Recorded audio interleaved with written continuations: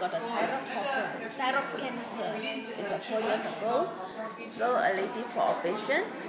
So until got uh, chemo and iodine. I just take reserve for one month. I think about two box. One day I take two packs. This is from Dr. Teresa recommend to take it.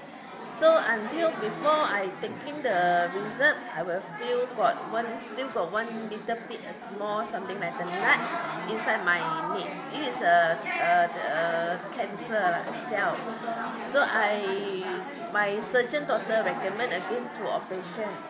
So I be scared. I don't want to be operated. So until I follow up the UM hospital UM doctor for recommend to take iodine again. Until just take the finished two box of the reserve, 16th of July, I go for scan.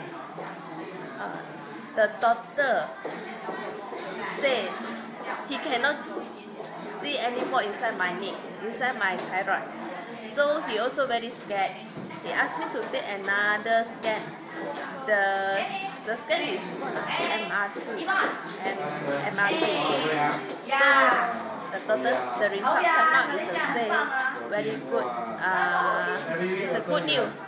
So until now I'm very happy to thank you Dr. Teresa to recommend to take the reserve thank you. Thank you